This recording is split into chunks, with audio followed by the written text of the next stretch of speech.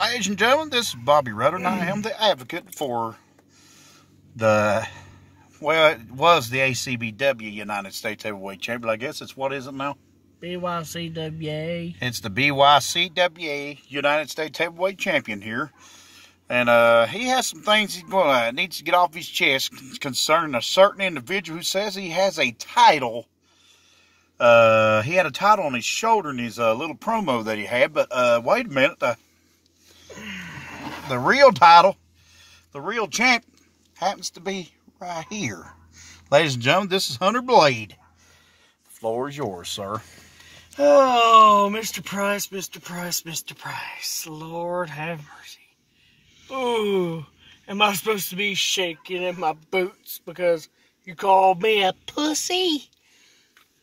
Wah! Cry me a river. I don't back down from a challenge, son. Right there it is.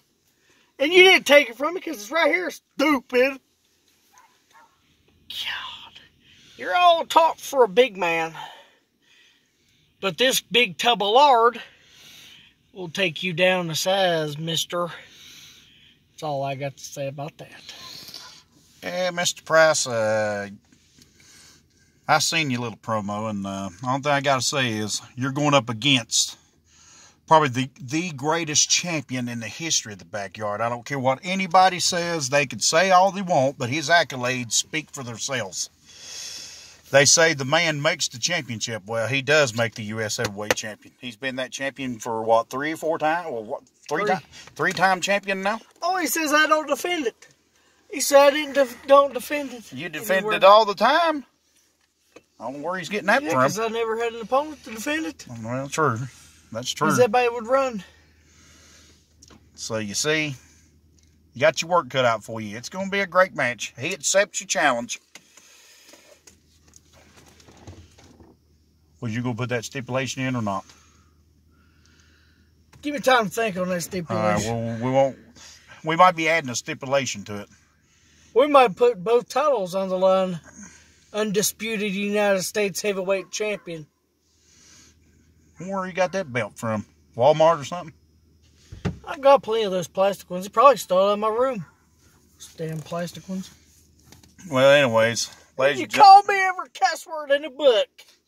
Wah! he cussed you. He cussed you. But anyways, He called me a fucker.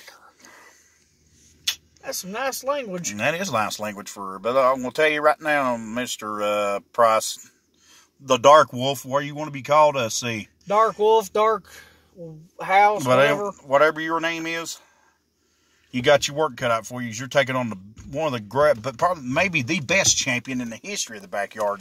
Oh, and uh, speaking of that, he said the Dark Wolf Lodge is what? There's a vacancy open. You'll smash. You owe rent, son. Where's it at, yes? Oh, wait. Consider yourself invited to a place I call the Cold Blooded Motel. There's no room service, son. There's only going to be an ass kicking coming. At Anarchy, it's on, and it will be for the undisputed United States Heavyweight Champion Championship, ladies and gentlemen. Well, wait a minute. Let me go ahead and add that stipulation. I've already thought about it. Mm, okay. Mr. Price, I don't know if you agree to it, but both titles will be online. How about we do a little title versus career, son? In other words, Mr. Blade is putting his career on the line. And the only thing you're having to, uh, the only thing you're, uh, the only thing you have to do is beat him to win the United States heavyweight. Your career is not on the line, but Blade is putting his on the line. So it's going to be his career and the United States heavyweight championship. That's what's going to be on the line this match. I'm going to tell you now, the last time he put his career on the line, he walked out still the man. So I think after Anarchy, he will still be the man. He will still be the United States heavyweight champion. This is Bobby Rudder, and I'm signing out. We're out, and I'm signing off for now. See ya, loser.